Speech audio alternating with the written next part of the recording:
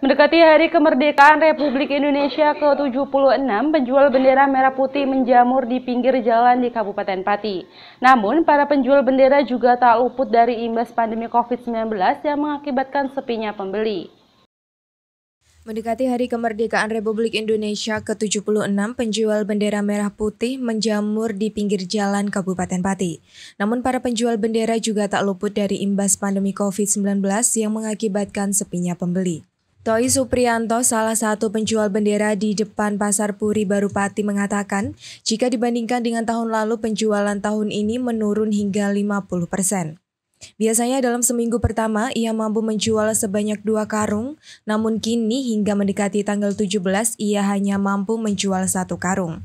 Ia juga menjelaskan beberapa barang yang ia jajakan di antaranya adalah umbul-umbul, bendera, dan juga background merah putih.